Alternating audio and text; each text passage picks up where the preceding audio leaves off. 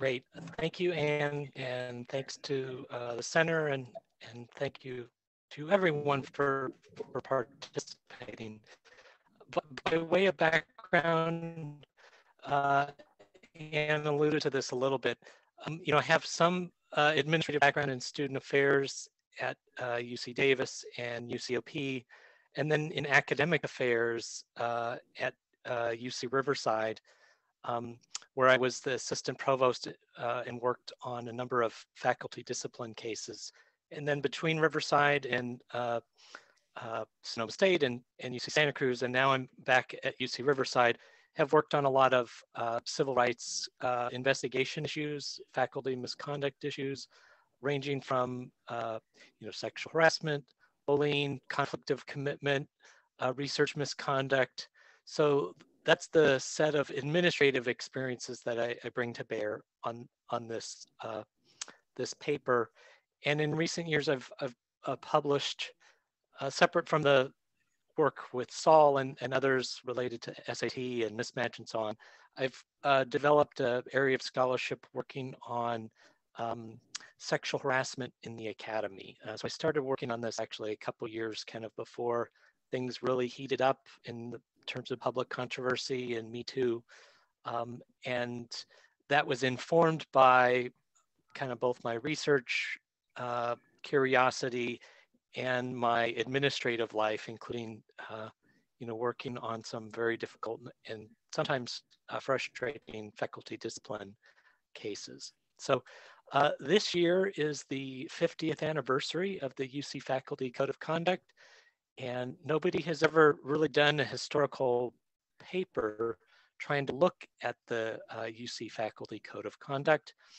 Uh, my hope is that it is a kind of a, um, if you could go to the next slide, um, a unique social history and a, you know, admittedly a revisionist history, but in ways that I, I use that term uh, in a good way, not in a pejorative way. Um, in fact, history necessarily uh, needs to be a revisionist history and a reexamination of past norms and assumptions and beliefs is, is very much a part of this project. So um, this is a, uh, a sprawling, wide-ranging research paper. Um, I think the final product product is in the it's in the final edit stages uh, right now, um, and I think will be uh, posted by CSHE CSHE fairly soon. Um, but you can, if you have a chance to look at it, uh, you know, the, the, the works cited section of the paper is like 10 pages long, um, just because there was so much uh, to this uh, rich and interesting and, and dense area. So um, for the, the 50th anniversary um, of the Faculty Code of Conduct, my, my old, um, I wanted to, to better understand and tell the story about how uh, the Faculty Code of Conduct came to be, how it evolved, um, but also I wanted to apply, you know, kind of a C. Wright Mills uh, sociological imagination uh, to gain understanding about what all of the changes in rules and procedures, what does all of that uh, mean? What's the import of that? Um, and along the way, document where uh, this just wasn't something evolving within the University of California, but was part of uh, understanding more national trends in American higher education. And so I'll, I'll try to make those uh, connections along the way uh, where there are uh, broader sociological trends in higher ed that are animating uh, what is going on within UC.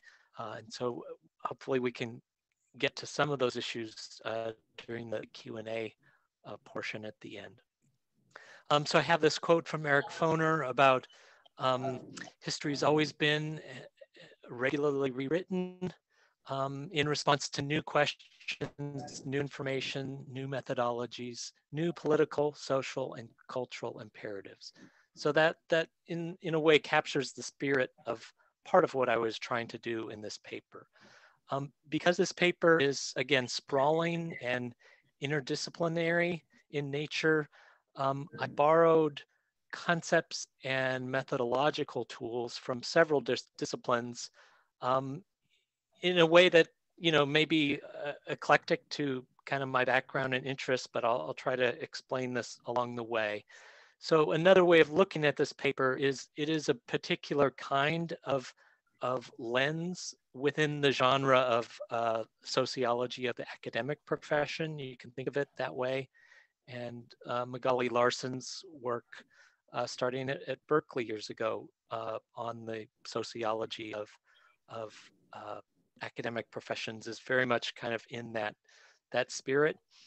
Um, especially now, given the events in our uh, political uh, life, both nationally and internationally, um, issues around better understanding ethical norms and how much our society and institutions function by virtue of norms and not just rules um, uh, was very top of mind for me in, in doing this presentation. So again, there's this this rich literature in sociology and in higher education, uh, you know, kind of rooted in uh, Durkheim and Mertonian norms, for example, uh, Braxton and colleagues' uh, uh, scholarship on higher education and faculty norms, uh, where there are contrasts between the stated norm and what really happens. those that uh, body of scholarship in, informed uh, this work quite a bit. Uh, next slide. Can you advance to the next slide? Is that great? Thank you.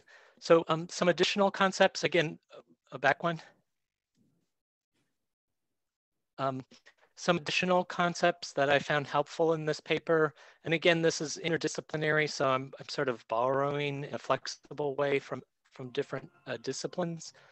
Um, one is this uh, uh, concept from uh, Joan Williams, who's a law professor at, at UC Hastings, uh, looking at sexual harassment law and how things have evolved, uh, especially comparing the legal cases involving sexual harassment from, say, the 1990s compared to today in the post Me Too era, how our societal norms about what is and isn't reasonable behavior have changed quite dramatically. And so uh, the term in, in her recent article uh, of a norm cascade, um, I think that's that's helpful as a descriptor for some things that are going on and that um, I will uh, comment along the way in the, the paper. Um, another concept, and again, for those of you backgrounds, whether it's sociology or political science, if you have a, sort of a better term that's not quite as far away as the concept I'm borrowing from evolutionary biology, uh, please let me know because I'm working kind of on my final edits for the paper this weekend. But as a descriptor of, of, of phenomena, uh, what I found very helpful given the nature of this project and my findings, was this concept from uh, Stephen Jay Gould and Eldredge uh, about punctuated equilibrium.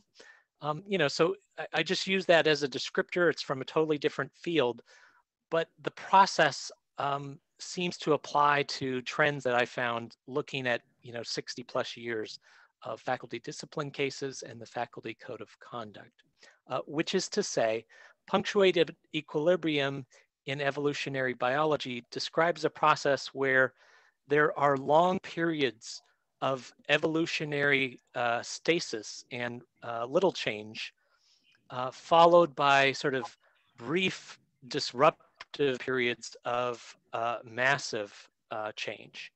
And that, I'll get into this more, but basically I found there's kind of, you know, over the last 50 plus years, there are three periods where you have this uh, kind of brief, sudden eruption of both policy change and things kind of coming to a head in terms of collision of values and ethical norms.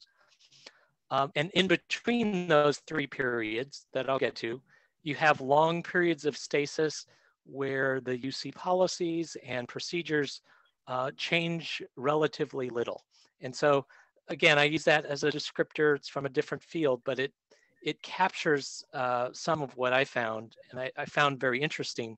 Um, I hadn't thought about this until doing the work. Uh, uh, what's kind of going on in this paper? Um, a final concept from uh, organizational behavior, and again, this is to help understand the process of how policy change comes to be when it uh, in a shared governance environment when uh, policy changes are uh, both proposed and successful versus when they're uh, not successful, when they're not even proposed. And that's this concept of, of status quo bias, that, that there is a kind of uh, reserve uh, status quo momentum um, to institutional behavior. And it takes a robust combination of other factors to overcome and eclipse that that kind of uh, status quo bias. And I'll, I'll, I'll get into that uh, more in the paper. Um, uh, next slide. Great. So um, I found it uh, very interesting uh, as part of the kind of deep history about this topic. I was able to find what happened in the, the very first uh, privilege and tenure case in the University of California's history. And by way of background, um, as some of you know, and maybe some are less familiar, um, there were major uh, changes at the University of California around shared governance uh, a century ago in what's called the, the slightly after uh, World War II, there was a, a kind of a governance crisis at UC Berkeley with the faculty.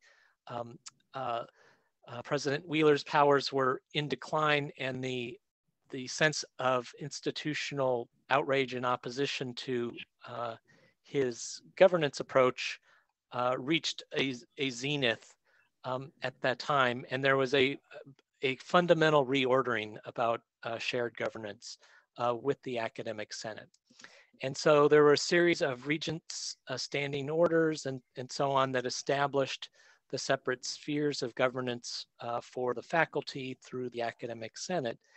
And an important part of that was there was actually the creation of a new academic senate committee called the Privilege and Tenure Committee that would adjudicate uh, disciplinary cases and uh, faculty uh, grievances.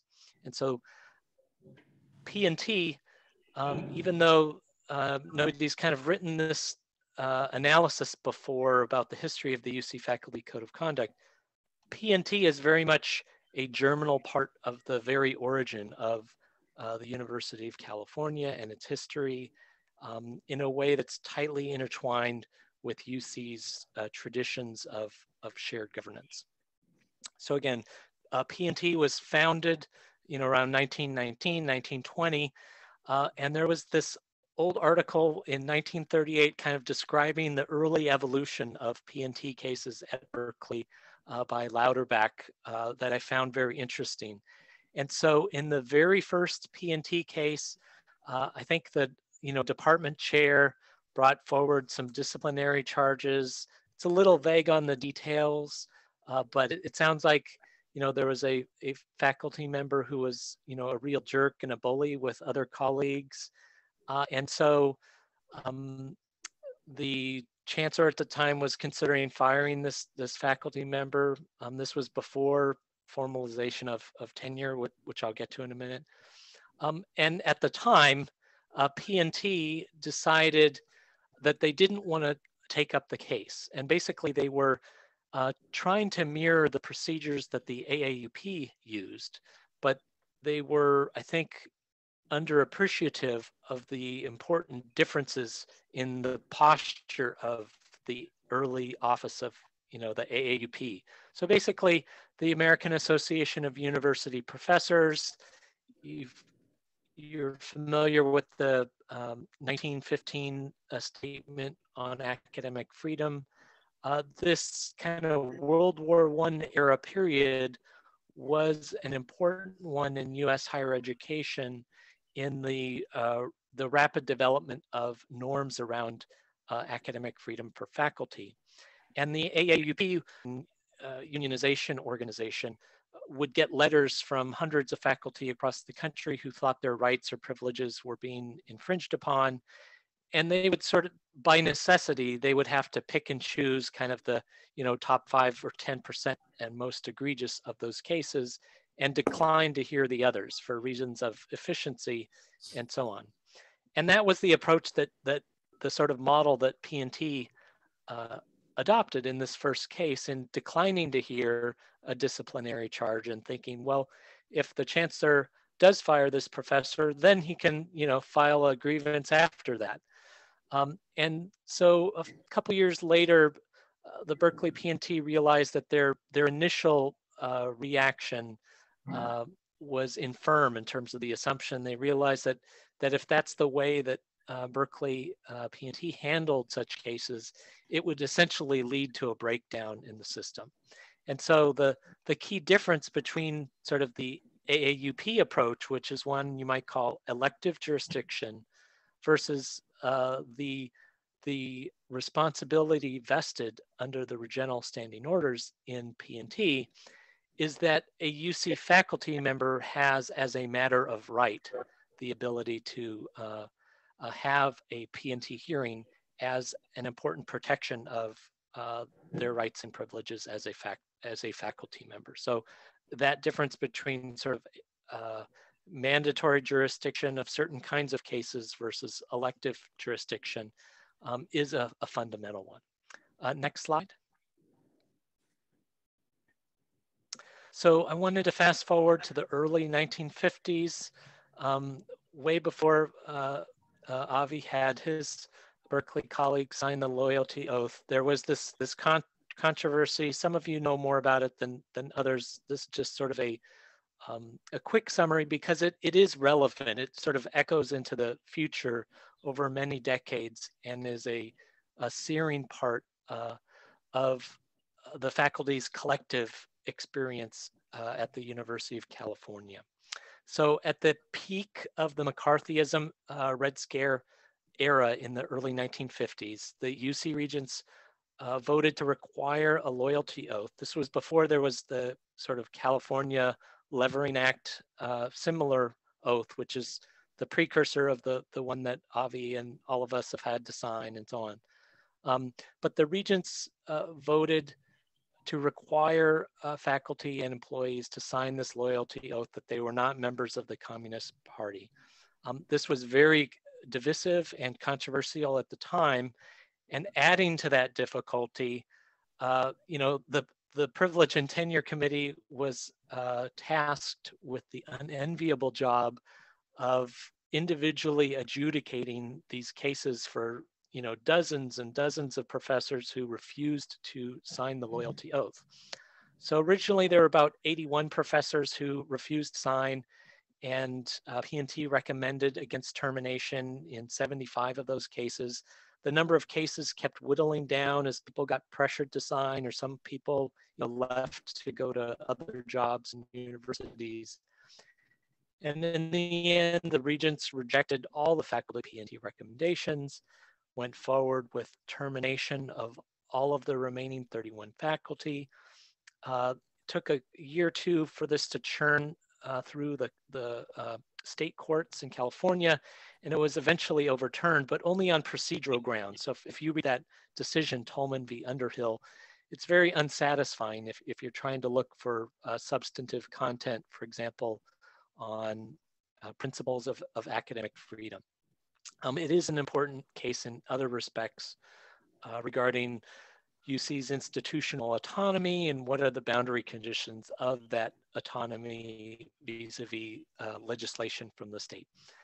But the, the impact of that loyalty oath, the, the division and acrimony and distrust between uh, governance stakeholders and specifically the regents versus the faculty uh, did have a lasting impact on uh, UC faculty. Uh, next slide.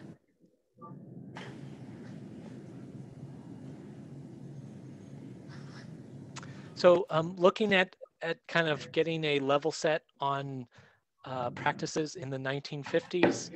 Um, some other important developments in the late 1950s, uh, President Kerr advanced a proposal soon after taking um, the office of uh, being UC president that that essentially codified uh, continuous tenure.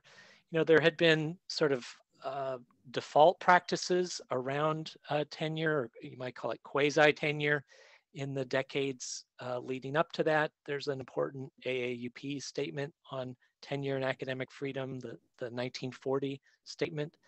So this was a period of uh, kind of taking a step back to US higher education. This was a period of rapid expansion of colleges and universities, especially public uh, universities and colleges uh, in the US in the 1950s and the 1960s. Uh, so there was the number of faculty uh, was rising quickly. Um, and with that, there was an evolution and a maturation of uh, professionalization norms. One of those was around uh, uh, getting approval for continuous tenure. And uh, an amusing side note on that is that uh, he didn't know it at the time, but you know, nine or 10 years later, uh, President Kerr was a beneficiary of continuous tenure. This, this ended up being very surprising to him because he didn't, uh, it didn't occur to him. But when uh, Governor Reagan and the regents uh, fired uh, Clark Kerr, they also wanted to fire him from his underlying academic appointment.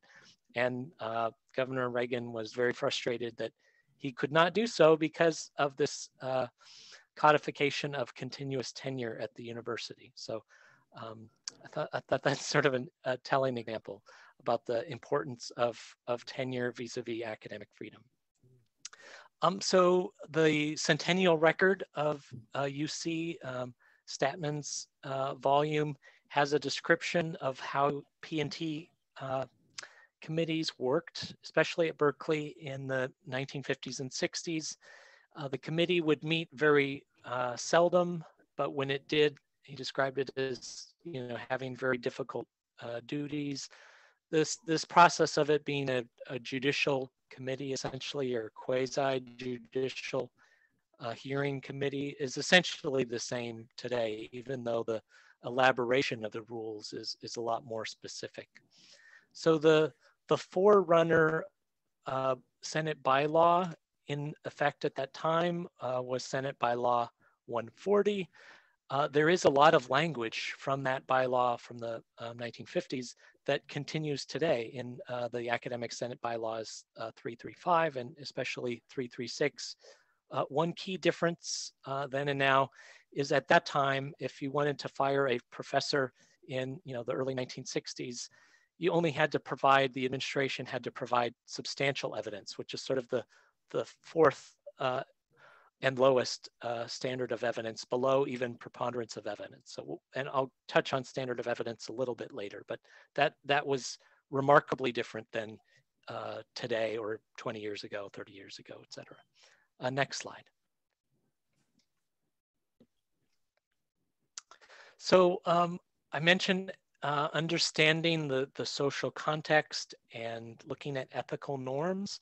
So I thought it's important to give some documentation to how different those norms were kind of back in in uh, earlier eras uh, in the 1950s and 60s, and especially um, norms around anti-discrimination and anti-harassment principles were just remarkably different. So um, one of the interesting kind of side notes that I came across in collecting materials for this um, paper was this unusual case where uh, the provost at UC Santa Barbara, and at that, at that time, Santa Barbara was more like a liberal arts college, and the provost was the highest ranking official for the campus, like, like the chancellor. Um, the, the provost, at, newly hired uh, provost at UC Santa Barbara, um, was on a recruiting trip in New York, faculty recruiting trip, and apparently tried to pick up somebody at a bar and that was an undercover police officer who then arrested him. And this was not that uncommon for things like that to happen in the 1950s. There's a number of scholars who've talked about um, the sort of uh, lavender scare uh, that paralleled the Red Scare and how uh, a number of uh, city governments, uh, state governments, et cetera, had a, a policy of essentially trying to purge gay and lesbian employees and faculty uh, from public sector jobs. So it, it, was an illustrative example um, of how things are different. Um, another concept that I found very helpful in this regard is um, Miranda Fricker's concept of epistemic injustice. And that, that just, she's a, a philosopher that describes how um, social structures and norms can make it very difficult. And sexual harassment is one example of this, but not the only one.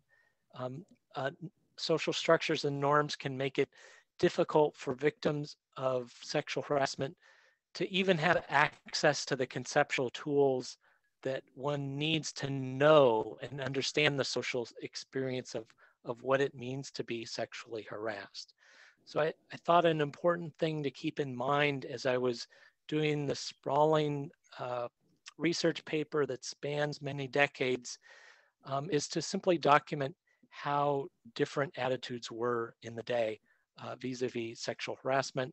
I think I mentioned this a little bit a year ago when, when I was starting this project. So the um, Jenkson uh, is the Riesman book uh, on the academic revolution. This was a leading higher education book about the transformation in US higher ed in the late 1960s. And it's full of these highly uh, sexist, problematic um, passages that uh, that describe essentially um, male undergraduate students kind of manipulating older white male faculty uh, and is completely ob oblivious as to the scope of the harm that, that I'll, I'll get into uh, later.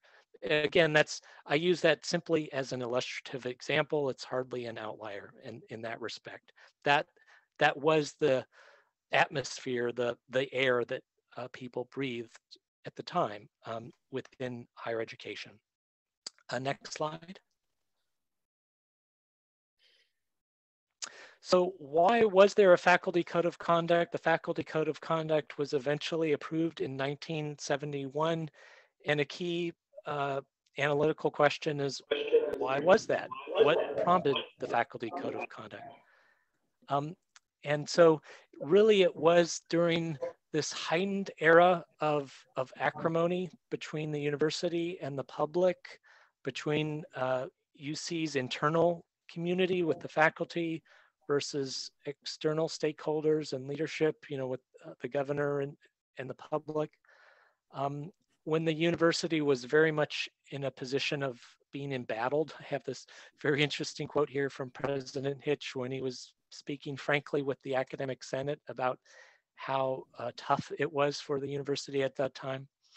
Um, during this period of uh, escalating uh, anti-Vietnam protests, basically there was this trend of what was called reconstitution of courses, and that's where some faculty, maybe the numbers were exaggerated on how many, um, instead of teaching the assigned class that was, you know, in the course catalog, they would kind of uh, deviate off to uh, hosting discussions about American foreign policy and and other matters that that were not uh, strongly anchored to the underlying curriculum of the, the assigned courses that they had. So um, this trend at several UC campuses and nationally um, was really what kind of sparked the the public upset and reaction that then led to uh, a number of universities, not just UC, but a number of colleges and universities across the US to adopt faculty codes of conduct during this era. Next slide.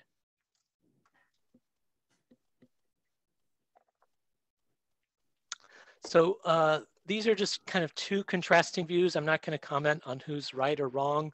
There's sort of elements of, of both there. Uh, but uh, Clark Kerr had a very negative view about uh, the faculty's uh, sense of professional self-regulation and accountability.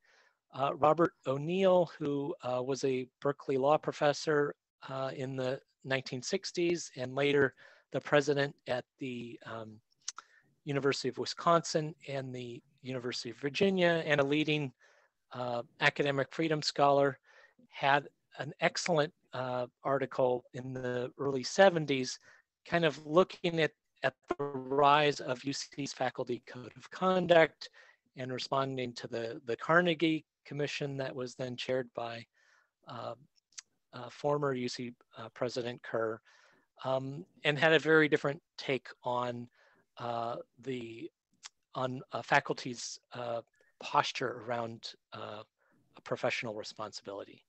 next slide. So this just kind of give, gives you a sense of the policy scene at the time.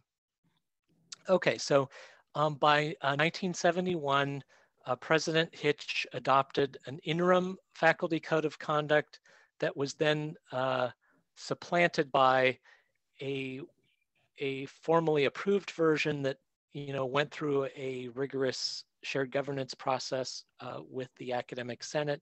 And this is simply this quote is is his explanation in the interim policy about um, the basis for for what was happening with the faculty code of conduct there's been no comprehensive policy concerning faculty conduct and the administration of discipline, and this has led in some quarters to the erroneous belief that specific standards do not exist. So this was sort of the seed corn for uh, growing a, a new uh, faculty code of conduct. Uh, next slide. So um, what other things that were going on in the background uh, politically and socially at the time, there was an important case that I think most of you have probably heard about uh, Angela Davis, who was a, um, a, radical activist faculty member at the time, an acting assistant professor at UCLA. Uh, she was still uh, finishing up her uh, PhD. Again, this, this period of the 1960s uh, and into the early 70s was a period of, of rapid expansion of higher ed uh, especially at the University of California. So there was a lot more faculty hiring.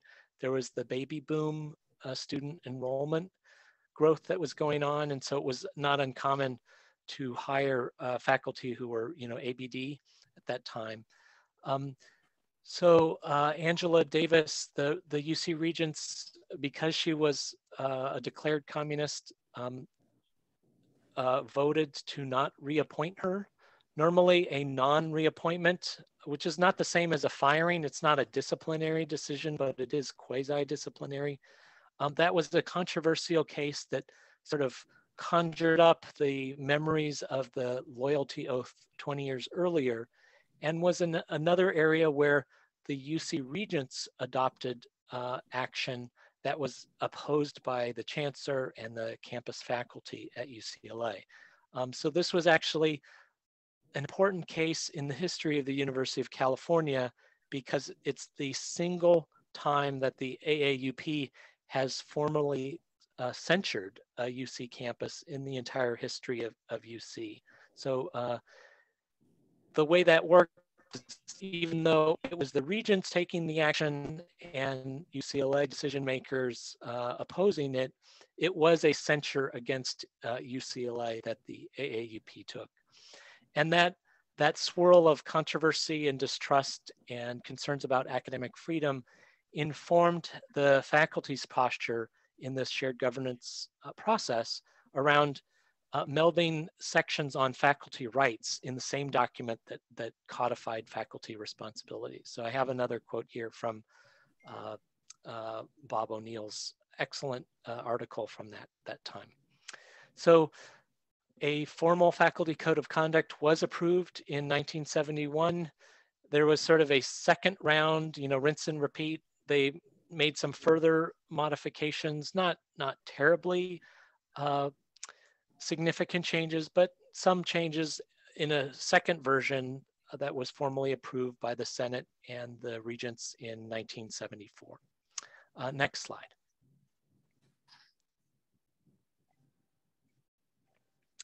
So uh, this is extremely difficult to document. So um, it's one of the interesting things about doing both kind of practitioner work and scholarly work uh, in this era. Um, this timeline shows all of the uh, individual cases where a tenured faculty member, um, because again, if somebody's fired for misconduct and they're an assistant professor, under UC policy, that doesn't have to go to the Board of Regents. It's, it's a chancellor final decision, typically. But if a tenured faculty member, associate or full professor, um, is formally fired, these 10 cases represent the uh, extent of those. So I have the initial of the campus around each of those uh, cases. Um, one thing to keep in mind is that formal termination cases are, you know, the, the far end of the distribution, the far end of the tail.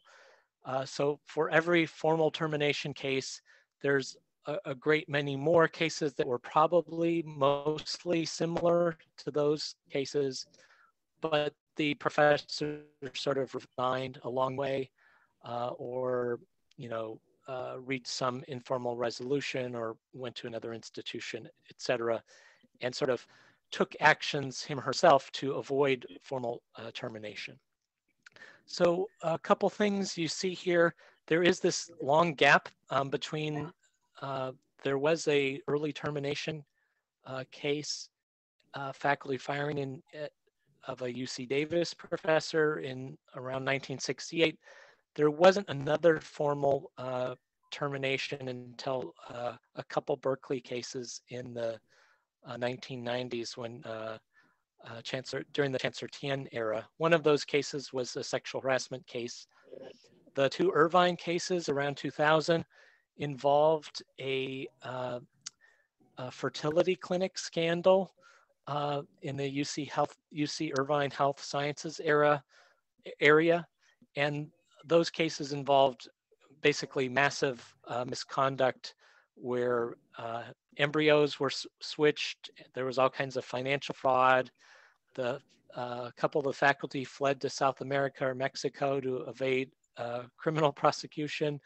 These cases, uh, I'll get to the Irvine scandal later because it, it uh, has um, it led to other changes in, in UC policy and, and UCI policy particular. There are a couple uh, Riverside cases in the 2010s that I happen to work on. I'll try to not comment on that too much for that reason. And then you can see, uh, you know, years ago, you could go many years without a, a formal termination case.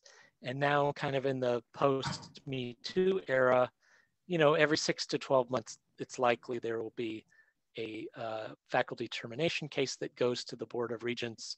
There were a couple uh, at UC Santa Cruz and one at UC San Diego. At least I think two of those were probably sexual harassment cases. Um, a couple of these cases along the way, one at Berkeley and, and one at, at Santa Cruz. And again, I'm, I'm using public available information here, not sort of attorney-client privilege or confidential information. But a, a, couple of those cases, Berkeley and San Diego, involved different forms of, of teaching misconduct where you know, a professor for one reason or another uh, refuses to teach their classes. Okay, so that's a big picture timeline.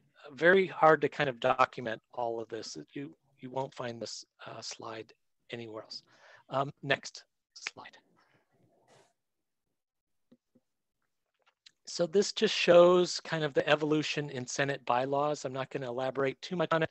Sometimes the bylaws are just um, changes in renumbering, but other times there are more substantive changes. And so the change in 2001 is the most significant on that chart, and I'll uh, get to that in, in a few minutes. Next slide.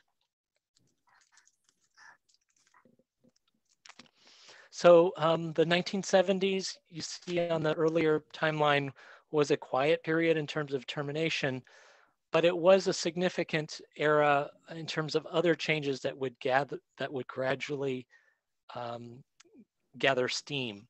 And so uh, after Title IX was passed in, in uh, 1972, here are some of the early uh, changes.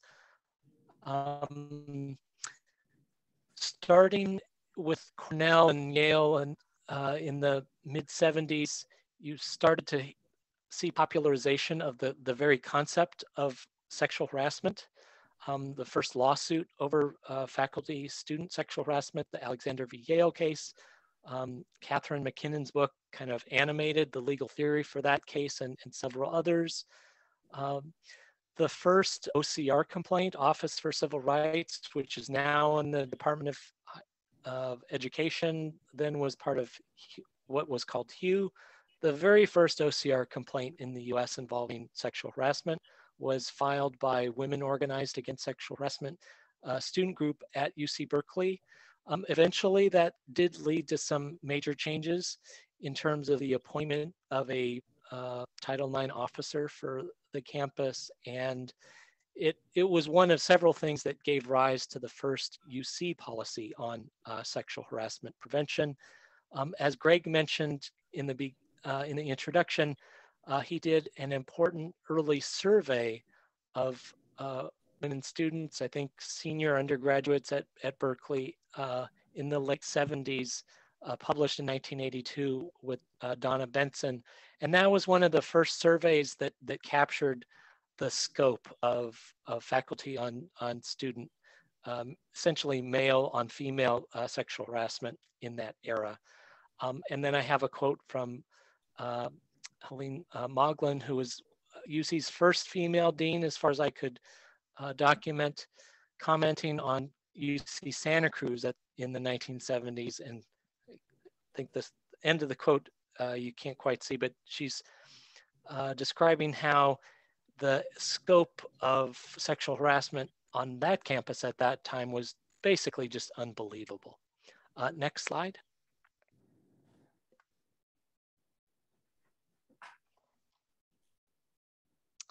Um, there was this episode in the 1980s. Um, I think I'll skip this because I'm I don't want to uh, run late on time. I, have talked about this in the presentation a year ago, where there was this process where uh, the faculty tried to revise the faculty code to better protect students from harassment and romantic relationships, and it was voted down. So uh, next slide and then uh, skip to uh, slide 17. Keep going. There we go. Um, so the next, again, uh, this concept of punctuated equilibrium uh, was very helpful in my paper. So the first wave of rapid disruptive change was that period in say 1969 to 71 that, that led to the creation of the Faculty Code of Conduct. Then there was this long period of stasis, essentially. And the next period of substantial and disruptive change was in the late 90s and, and early 2000s.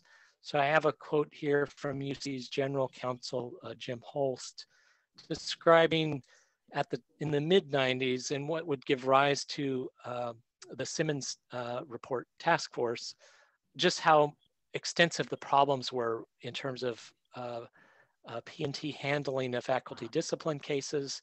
Um, these cases were unnecessarily burdensome, too frequently involved unreasonable delay, and there was a compromise in the effectiveness of the, of the system. And in a lot of these cases, sort of uh, campus P&T panels would kind of find a, a gimmicky way, if you will, that's sort of my unkind way of putting it, um, a gimmicky way of, of uh, finding a lack of jurisdiction or closing out a case without really getting to the merits of the case. Most of these cases were uh, sexual harassment cases that, that I'm talking about that led to this uh, uh, change in UC policy. So there was a major reform kind of in two waves, slightly not connected or directly connected with each other. Uh, the first wave, uh, Dan Simmons, former uh, Senate chair, there was the a task force that that he chaired in the late 90s and came up with a bunch of recommendations. Uh, and then there was a second wave that was intramural within the academic senate and that was uh, actually George Blumenthal was chair of uh, the UCP&T committee that went about drafting some major uh, changes. Uh, it adopted many, not all, but many of the Simmons Task Force uh, recommendations and also addressed a host of issues that were not addressed in the Simmons report. Uh, next slide. So you see, this is the unbundling of what was in bylaw 335 um, and separating this out into separate bylaws for jurisdiction. Uh, the key thing here is the separation of grievance cases, which have a very different posture to them from disciplinary cases, which is the central focus of my paper um, in bylaw 336. Uh, next slide. So these were the changes that were adopted at that time. Uh, clear and convincing evidence is the standard. Um, in my book, uh, the change to sanctions may have been uh, among the most important things. So previously there were only, only three or four sanctions allowed. And um, an interesting case that, that arose that I found out about in getting edits back on my paper is there was a case in the 90s where a faculty member who had a regental termination action scheduled for the next day sort of retired that night before their regents termination item. And so that case and some other cases underscored the point that UC did not have a sound mechanism for uh, sanctioning uh, emeriti faculty. So uh, there a new sanction of uh, curtailment or denial of emeritus status was added. Um, there was a narrowing of uh, when it was appropriate to use the sanction of demotion. If we have time to get into that, there's an interesting Riverside case that, that led to that and a lot of internal debate between the administration and the Senate at the UC-wide level. Uh, and so the three-year rule was added. So if the administration has known about a case for more than three years. Uh, that's a, essentially a statute of limitations on bringing a disciplinary charge. The last item there is in uh, 2000, uh, 2001 to 2003, there was a revision to the faculty code of conduct, kind of doing the work that wasn't done earlier in the 1980s that more expressly prohibited, prohibited uh, faculty-student relationships and had added important language on the power differentials between uh, faculty and their students. Uh, next slide.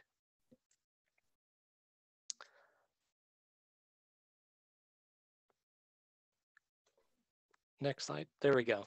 So again, the third era of in this punctuated equilibrium um, framework that I I've used is starts around 2016. So there were some developments, kind of things happening on the national scene.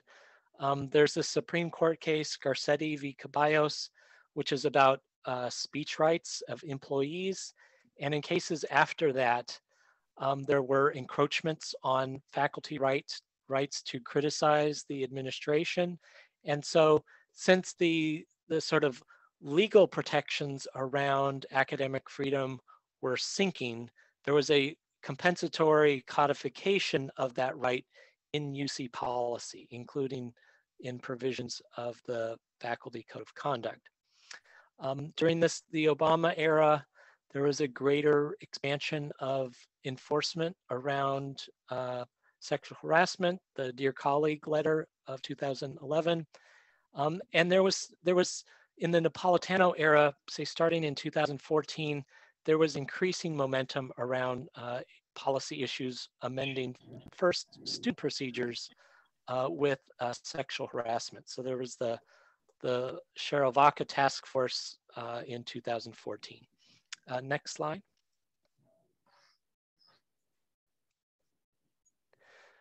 So the um, there was a faculty-oriented uh, task force looking at uh, disciplinary procedures. It was focused on faculty uh, sexual harassment issues, not all disciplinary misconduct, uh, but this these were the key recommendations that came out of that uh, task force. Um, I won't get into all of these, but there were some significant uh, recommendations. I, I, would characterize it as a mixed bag. In some ways, it's kind of a frustrating and underwhelming report. And uh, let's skip to the next slide. So this is in 2016, again, shortly before uh, kind of Me Too took effect in the middle of the Napolitano uh, presidency. Um, as these things go, uh, President Napolitano's written response to the Joint Committee report from Vacca and Hare was was rather harsh. Um, so she was very dissatisfied with the report's lack of engagement or substantive recommendations in, in all of these areas. Um, not having a single investigation, but sort of having multiple serial investigations, you know, from the Title IX office and then a charges committee and then P&T, et cetera, uh, is, is a big issue. The time frame for investigation um, is another one. Uh, there are issues around the three-year rule. Uh, also during this period, uh, there was an OCR investigation of UC Berkeley finding violations, including around faculty student sexual harassment, including uh, how cases were delayed, sometimes, uh, you know, took several hundred days to reach an outcome. And then the big one, and it, this comes after kind of years of internal turmoil with the state auditor's office and California lawmakers, is there was a very hard-hitting California state auditor report um, looking at uh, sexual harassment faculty student cases at several UC campuses. And again, highlighting this issue that these cases would take several hundred days to completion. And so that report, uh, given the political posture behind it at the time, uh, prompted the regents to basically uh, cajole the Senate to make some major revisions to Senate Bylaw 336. So um, the last piece there kind of catching up to where we are as of today in 2021 is last spring, because of uh, growing tension between state and federal law and UC policy under bylaw 336, the Senate has now adopted preponderance of evidence as the standard of evidence in uh, sexual harassment and sexual violence cases. So for other kinds of cases, uh, research misconduct, bullying, et cetera, it still uses clear and convincing. But to stay consistent with uh, the sort of combination of federal and state law, uh, it uses the preponderance standard in SVSH cases. Uh, next slide. So the bulk of my paper is kind of at the UC level and the faculty code of conduct, but each campus does have each campus has local procedures for operationalizing uh, faculty discipline. And this too is, an, uh, is a rich era, area of history where it's important and interesting to understand how uh, different institutional histories and memories, collective memories on campuses lead to different outcomes. Um, and so this is just kind of big picture. Uh, a key issue is uh, who has responsibility for pre-hearing investigations. Uh, it's typically a administrative function on uh, seven of the campuses, including Berkeley. Even if they have faculty advising or as part of the uh, committee doing that work, it's, a, it's vested as the administrative function. Um, then UC Riverside is sort of in an in-between position where they have a Senate vested charges committee, but it's just making a analysis and uh, recommendation on whether or not probable cause has been met. It's not an investigative committee in, in the true sense of the term. Uh, then the sort of high watermark for uh, Senate purview is UCLA uh, and UC Santa Barbara, which have either a Senate charges committee or a Senate charges officer uh, who is formally vested in their local procedures with investigative duties kind of leading up to uh, disciplinary cases. Um, uh, next slide.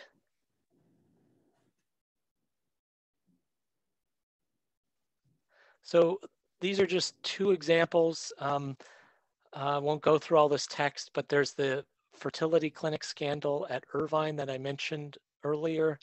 Um, that led to several cases that took four or five years to go through this uh, churn. There were sort of multiple back and forth investigations with P&T, and it led to a major reordering of the Irvine uh, kind of pre-hearing investigative rules and, and Senate bylaws.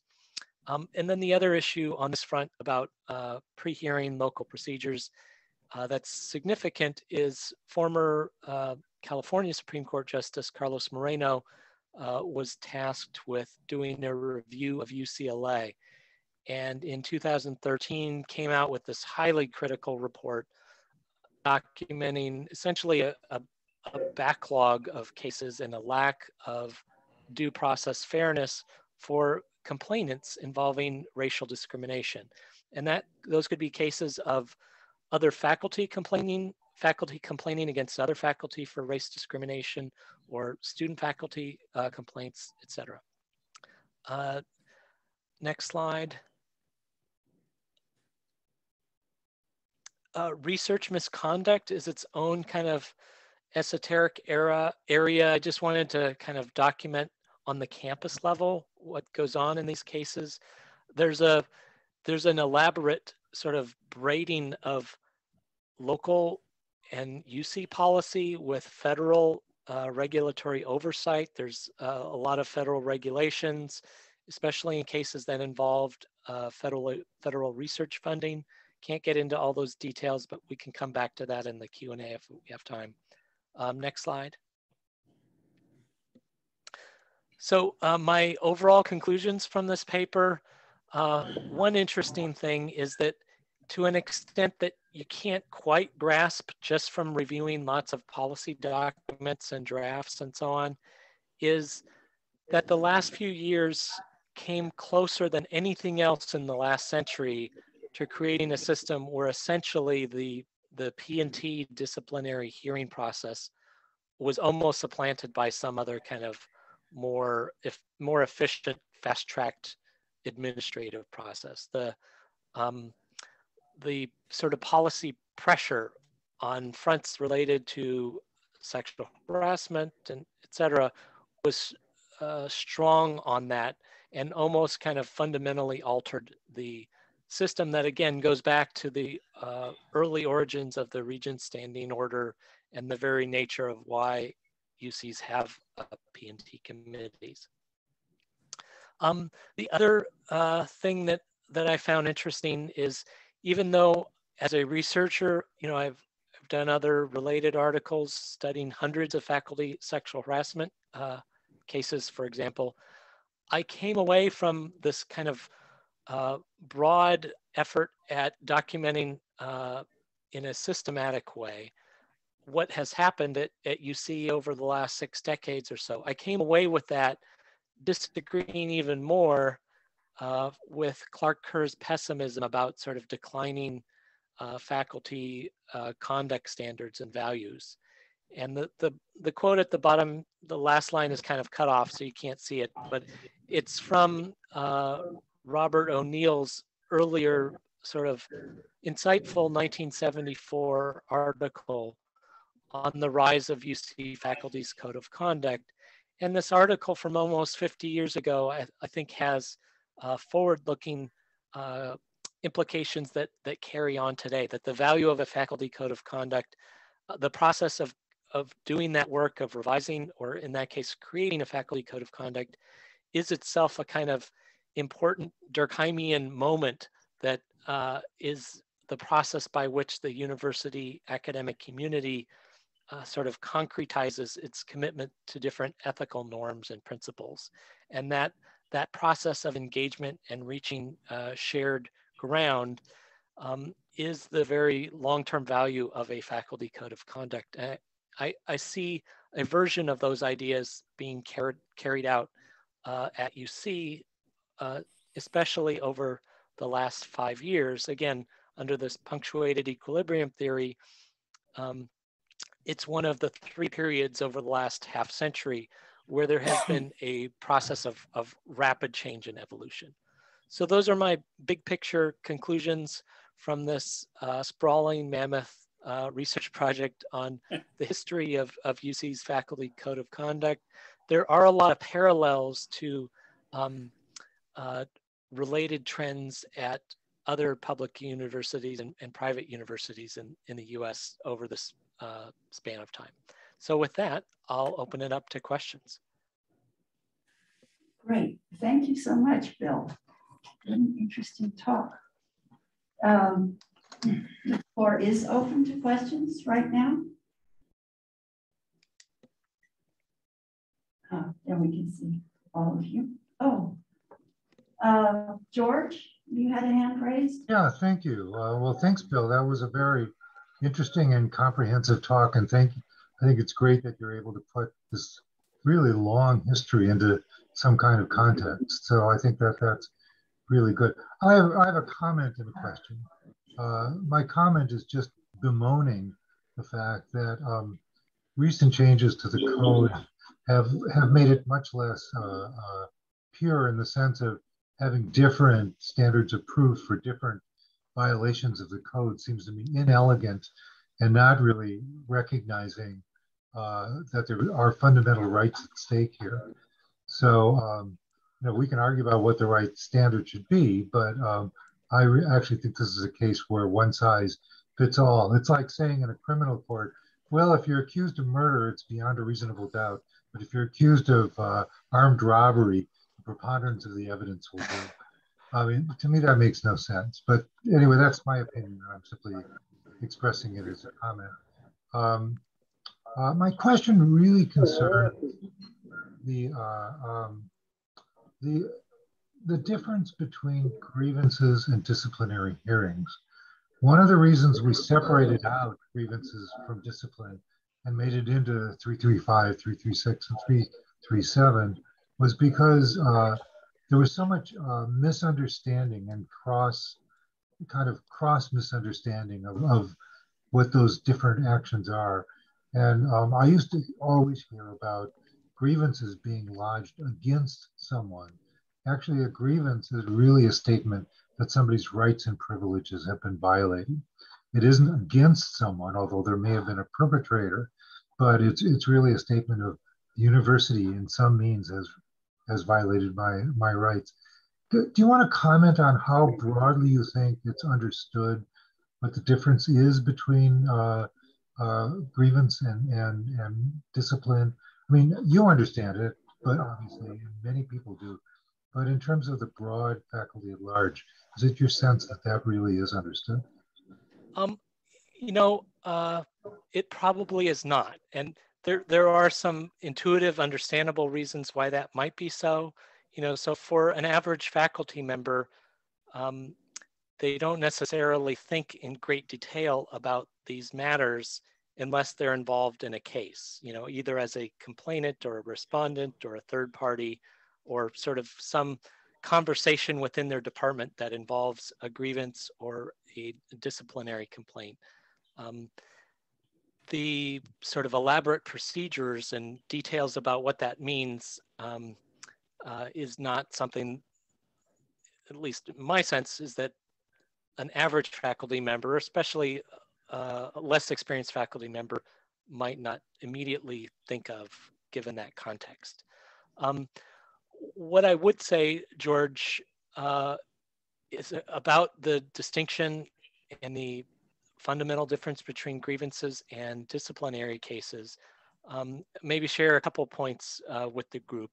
Um, one is that, you know, I did do a fair number of uh, interviews to kind of flesh out uh, the background facts for different uh, aspects of these policies.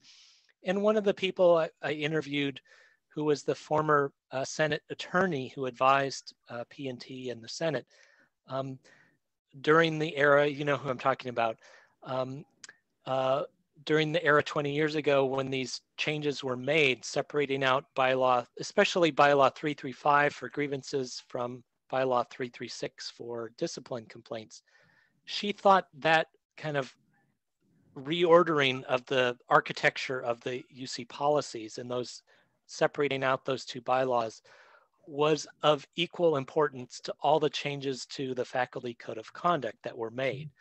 Um, I think a fair argument, I mean, it's sort of a debatable point or an issue, question of, of um, degree, but I take the import of her observation that that was uh, a fundamental uh, change that, that was made um, uh, by, by your uh, P&T committee kind of in the late 90s leading up to 2001. Um, the other point is kind of as a historical antecedent to that, um, these cases at UC Irvine, and this kind of came up in my interviews, um, were a good example of how blurry boundaries about what is and isn't a grievance versus a discipline complaint um, uh, really caused a lot of uh, delay and lack of uh, justice, essentially, uh, for parties, and was one of the reasons that the Irvine cases kind of churned through multiple investigations for four plus years in the late 1990s. So it was an important issue um, to get rectified. Um, nowadays, for faculty who find themselves engaged on these issues, on most campuses, you know, whether it's UCSF or Riverside or Berkeley, most academic senate or AP offices have a fairly good elaboration of the difference between um, a grievance and a disciplinary complaint. But the two issues do kind of still sort of naturally get uh, blurred. Um, and then maybe I'll comment on your earlier comment just a little bit about the standard of evidence. Um, it, I did interview the past Senate chair who uh, was involved uh, in the adoption of the, the new standard of evidence um, uh, last spring. Um, my overall sense is I, I, I do agree with you that there is this inequity issue. It was there before, but now it's there in a different way in having one standard of evidence for um, uh, sexual harassment cases. And now if, you know, if, if, if another faculty member is accused of racial harassment, then that's, that's, that's the uh, avenue where that the rubber meets the road on that question is right now there's, you know, a pending President Drake task force looking at race discrimination and harassment uh, related policies. And we have this painful inequity and disparity in, in policies. Um, and again, clear and convincing uh, applies to all other kinds of uh, faculty misconduct too. So I, I, agree with you that the, the uh, disparity is uncomfortable in terms of uh, uh, sort of an elegant policy commitment that's harmonized in a way that's consistent with our fundamental values. Um, I did uh, write a whole article in the Journal of College and University Law a year ago, looking at, as an empirical question, uh, what standard of evidence cumulatively has the least amount of error. And I make an argument in that paper, and I think it's hard to make the contrary argument that um, the preponderance of evidence standard is the best error reduction standard, all things considered. Um, so the, the uh, clear and convincing evidence standard sort of gives a higher weight to protection of faculty rights, but that weight comes at some uh, cost. So different people can take different views on that. But th those were uh, my sort of peer-reviewed views on, on that question. Other questions? Other questions here? Well, I have a question. Um, because the faculty code of conduct seems to be observed by those who are not faculty more in the breach. And students don't really seem to have a clear idea that there is such a thing. So I'm curious, and I know this is not exactly a Senate activity, but it has to do with um, the way in which the university presents itself to its population because in fact, this regulates the entire population within the university since students are dependent upon how faculty conduct themselves. So I wondered in terms of your organizational theory, if you have thought about how the code of conduct or its perception filters out into the larger university community. Uh, yeah, actually, that's a very interesting uh, question, Anne. Um, could, uh, let's see, Gemma, could you go back to my slides? The first backup slide I have is one on ethical norms, modeling and reinforcing norms. If you could show that. I think it's responsive to uh, Anne's question. Um, and I have this passage from a, a book chapter by uh, Braxton, Proper, and Bayer. So this is slide 28, if you could go to that. Um, but basically, let me just read the quote. Um, if norm violations receive sanctions, students respect these norms. Uh, the, these norms, student respect for these norms may actually increase. In other cases, a lack of negative sanctions may make a student cynical about the profession while failing to change an underlying belief that the behavior is wrong. If current norms are not transmitted to the next generation of scholars, they are unlikely to model them. So the context of that uh, book chapter was a, a piece by Braxton et al.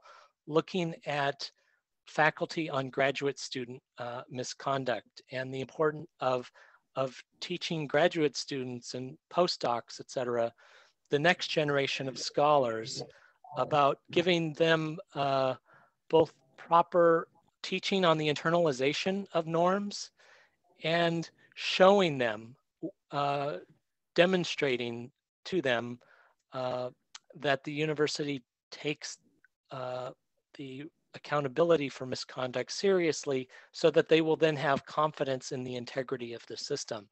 Um, at a big picture level, that is kind of the most fundamental, important socio uh, political ethical process that's uh, at issue in this um, in this area. Uh, the internalization of norms and accountability, uh, confidence, uh, not just sexual harassment, but all all of the ethical norms about proper uh, research ethics and mm-hmm. principles of respect for others that process of internalization of norms, um, creating an environment where undergraduates, graduate students, lecturers, staff, etc., feel like they can make a report when they see uh, misbehavior and not not uh, greatly fear retaliation for having made that report. That is a um, crucial organizational attribute. Uh, so when all of these things, maybe let me end on a, an anecdote that I think kind of pulls all that together. Um, so, um, you know, I've been involved in as an administrator on some uh, difficult faculty uh, misconduct cases.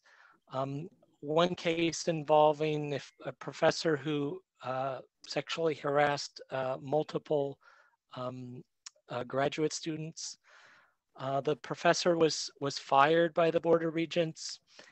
And, you know, like six, 12 months after that case, I was overseeing uh, the Title IX office uh, at UCR and went into a meeting to meet with an undergraduate who had a complaint against her uh, graduate student TA.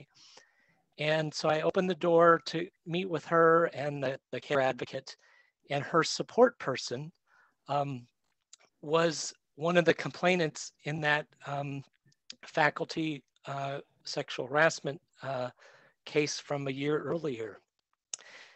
And that graduate student was then, um, at that time, was the instructor uh, who saw that uh, the undergraduate she was working with had some problem and uh, could tell something was wrong and had a conversation with that student and figured out that some other uh, graduate student was uh, harassing, sexually harassing this undergraduate or freshman. Um, and that, that graduate student who had a very difficult experience was now um, teaching this undergraduate about um, making a Title IX report and taking her to the Title IX office so that there could be a proper accountability uh, for that issue. So in a way that um, is part of my lived experience, but that mirrors what Braxton et al. are describing in that slide, it really brought home to me how um, the lived experience of creating better ethical norms is a is a unfolding and difficult, but also um, important and at times beautiful process. And so um, I think that that speaks to kind of the underlying issues about the the broader community that you're you're asking about, Anne. Does. But that was a lucky freshman to have that. Yeah. graduate. Yes. Well, we have come to the end of our time, and I want to thank you very much for your talk. I myself am absolutely fascinated. And I'm sorry, actually, we don't have a bit more time to go into some of the issues, but your paper is about to come out in our road series. And then we shall all hopefully get back to you with more ideas about it. So thank you very much. And good So uh, thank, you thank you to George and Anne and everybody uh, for being my uh, partner in this uh, research project. It's been an interesting journey. Thank you, Bill. Thank you, Bill. Okay, bye-bye. Bye-bye. Be well, everyone. Have a good Friday. Can we, can I try something with you? Sure. Would you try talking to this gray thing, this owl? Okay, Wow, that's so much better. oh, I was turned away from it? Yeah, so it's like you're talking to them, but look at how you look, when Yes. you look at this screen versus when you look Oh, at of the course, owl. because that's my frame of Right. reference. Owl. Yeah, it looks better if you look at that. Oh, gosh, well, I hope I, um, that's No, no,